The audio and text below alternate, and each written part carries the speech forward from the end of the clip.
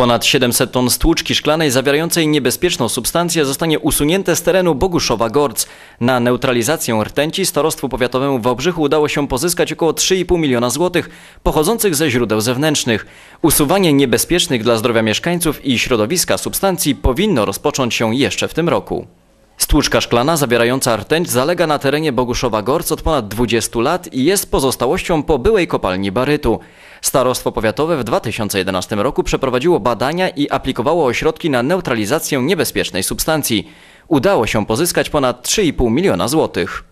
W dniu 17 września otrzymaliśmy informację, że Zarząd Narodowego Funduszu Ochrony Środowiska e, przyjmuje wniosek i udziela dotacji w wysokości 2 milionów 800.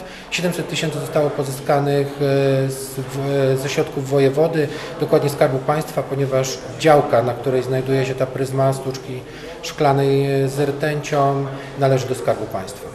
Neutralizacja stłuczki szklanej to zaawansowany proces chemiczny polegający na unieruchomieniu rtęci poprzez wymieszanie jej z siarką oraz wapnem. Później nastąpi wywożenie tego materiału na składowisko odpadów niebezpiecznych. Tym skomplikowanym zadaniem musi zająć się specjalistyczna firma, która ma doświadczenie w neutralizacji takich substancji. W związku z tym dzisiaj już rozpoczynamy przetarg e, i będziemy wyłaniać firmę. Pierwsze prace chcemy rozpocząć w tym roku. E, Być może zdążymy z całością, jednak e, jesteśmy, jesteśmy ostrożni. Jeżeli rozpoczniemy pracę już w tym roku, to będzie bardzo dobrze.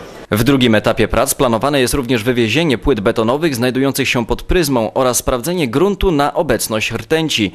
Zdaniem ekologów po tak długim okresie składowania cały teren hałdy może być skażony przez wiele lat.